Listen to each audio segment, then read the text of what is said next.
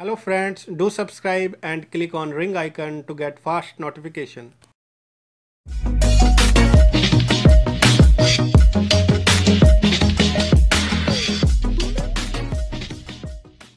Welcome friends self अध्ययन पर Excel tutorial में आगे टॉपिक की तरफ़ बढ़ते हैं फार्मूला एक्सरसाइज थ्री की तरफ़ जिसमें हम सीखेंगे कुछ काउंट से रिलेटेड फार्मूले एवरेज तो हम ऑलरेडी सीख चुके हैं सम भी हम सीख चुके हैं तो एक मिसलेनियस फार्मूला हमारा हो जाएगा ये फार्मूला एक्सरसाइज थ्री जिसमें हम अलग अलग तरीके से कैलकुलेशन को देखने वाले हैं।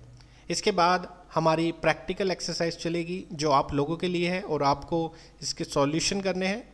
उनके सॉल्यूशंस आपको मिलते रहेंगे दो दो दिन में आपको वीडियोस का अपडेट मिलता रहेगा और उसी के आधार पर अपना क्रॉस चेक कर सकते हैं। तो आप पहले प्रैक्टिस कीजिए, अपने उन फॉर्मूलेट्स को कीजिए, जिसके बाद उनको क्रॉस चेक करने में आपको इन वीडियो से हेल्प मिल जाएगी। तो ये देखते हैं सबसे पहले फॉर्मूला एक्सरसाइज नंबर तीन। यहाँ पर कुछ एम्प्लॉयज़ की सैलरी उनके डेजिग्नेशंस और उनके बोनस को दिखाया गया है। यहाँ पर आपको सबसे पहले ए कॉलम में लिख देना है name of employee B column में लिख देना है आपको सैलरी सी कॉलम में डेजिग्नेशन और डी कॉलम में बोनस उसी के बाद हमने यहाँ पर टोटल सैलरी भी निकाला है आखिरी कॉलम में और यहाँ पर आपको minimum maximum average number of typist आपको काउंट करने हैं नंबर ऑफ़ एम्प्लॉय काउंट करने हैं, जिनका जो बोनस है, चार हज़ार या उससे ऊपर के अमाउंट का है। इसी तरीके से नंबर ऑफ़ एम्प्लॉय आपको कैलकुलेट करने हैं, जिन्होंने पच्चीस हज़ार रुपये से ज़्यादा सैलरी ली है। तो ये सब चीज़ें हम कैलकुलेट कैसे करेंगे? वही फार्मूले यहाँ पर मेंशन है। जैसे आप देख पाएँगे, यहाँ पर हमने फार्मूले का यूज़ करा है सम डी टू से डी एट इसका मतलब हमारा संदीप नाम से, जो कि डी टू सेल में वैल्यू लिखी गई है। बोनस की और आखिरी जो कि रोहित राणा आठ हज़ार रुपये से है, वो हमारा डी एट सेल के अंदर दिखाया गया है। तो हमें हमारे सेल में डी नाइन सेल के अंदर ये फॉर्मूला अप्लाई करना होगा, जिससे हम बोनस को कैलकुलेट कर पाएँगे। इसी तरीके से बी एट सेल के अंदर आप देखेंगे, यहाँ पर आपको फॉर्मूला लगाना है। Equal sum B two colon B eight यानी कि जो सैलरी का हम जो कैलकुलेशन कर रहे हैं टोटल सैलरी के आगे बी नाइन सेल के अंदर, ये फॉर्मूला हमें अप्लाई करते हुए उसका सम मिल जाएगा। आइए प्रैक्टिकल इसको देख लेते हैं।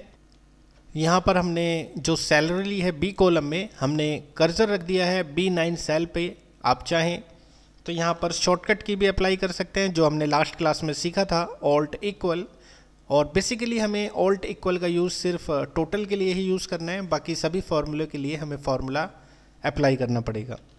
फ़िलहाल हम यहाँ फार्मूला लगा देते हैं सम सम के बाद हमने अपनी पूरी रेंज दे दी है, जो कि बी टू से बी एट तक की है।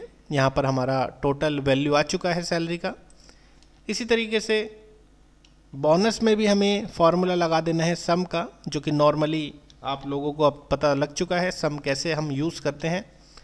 मिनिमम सैलरी भी आप निकाल पाएँगे और मिनिमम सैलरी की जो रेंज है, वो हम बी टू से बी एट तक की देने के बाद कैलकुलेट कर पाएँगे। मैक्सिमम सैलरी भी हमें सेम रेंज पे लेनी है, जहाँ हमारी सैलरी डिफाइन है बी टू से बी एट तक। एंड देन एवरेज सैलरी ये सभी फॉर्मूले हम पहले भी सीख चुके हैं। इसमें हमने एवरेज सैलरी का प्राइस निकाल दिया फोर्टी थ्री थाउज़ेंड अब जो हमारे लिए नए फार्मूले हैं, वो है number of typist number of employee जिनको बोनस चार हज़ार या उससे ऊपर का मिला है, और number of employee getting more than twenty five thousand salary तो इन चीज़ों को निकालने के लिए हमारी जो रेंज है, वो है डी टू से लेकर हमारी डी एट तक की. तो नंबर ऑफ़ टाइपिस्ट हमें काउंट करना है तो हमें काउंट इफ़ का इस्तेमाल करना है बिकॉज़ हमें कोई पर्टिकुलर कंडीशन से रिलेटेड डेटा को काउंट करना है. तो हमारी यहाँ यहाँ पर जो रेंज है, वो हमें सिलेक्ट करनी है सी टू से लेकर, जो कि हमारी सी एट सेल तक है। यहाँ पर हमारे सारे डेजिग्नेशन सिलेक्ट हो चुके हैं और हमें जो काउंट करना है, वो टाइपिस्ट फॉर्म को काउंट करना है, वो कैरेक्टर स्मॉल या अपर केस किसी में भी हो सकते हैं। यहाँ पर वो एग्जैक्ट उसे चेक कर लेगा और यहाँ पर नंबर ऑफ़ टाइपिस्ट आ चुके हैं थ्री इसी तरीके से नंबर ऑफ़ एम्प्लॉय हमें देखने हैं, जिनकी जो बोनस कैलकुलेशन हमें चेक करनी है, चार हज़ार या उससे ऊपर की, उसके लिए हमें फिर से फार्मूला लगाना होगा काउंट इफ़ का, और रेंज हमारी हो जाएगी डी टू से लेकर डी एट तक की, क्योंकि हमारे जो बोनस हैं, वो डी टू से डी एट तक मेंशन है। यहाँ पर हमें जो चेक करना है, जिनके बोनस चार हज़ार या चार हज़ार से ऊपर के हैं। तो आप देखेंगे कि चार हज़ार यहाँ पर दो बार मेंशन है, अगर हम इक्वल का साइन नहीं लगाते तो वो उसको इग्नोर कर देगा। और हमें वो भी चीज़ चाहिए जिनके बोनस फोर थाउज़ेंड भी हैं। तो नंबर ऑफ़ एम्प्लॉय ऐसे आए हैं पाँच। उसके बाद नंबर ऑफ़ एम्प्लॉय हमें कैलकुलेट करने हैं चेक करने हैं, जिनकी सैलरी पच्चीस हज़ार या उससे ऊपर है। यहाँ पर मोर देन का यूज़ हुआ है तो पच्चीस हज़ार से ऊपर का ही हमें फॉर्मूला लगाना है। इक्वल का साइन हमें यूज़ नहीं करना।